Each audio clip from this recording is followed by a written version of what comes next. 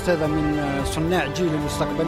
الأستاذة نعتبرها الأخت هي كل شيء في هذه الدنيا. الأستاذة الفاضلة التي أعطت ولم تبخل لأجيال. مثال للتفاني مثال للأستاذ الناجح.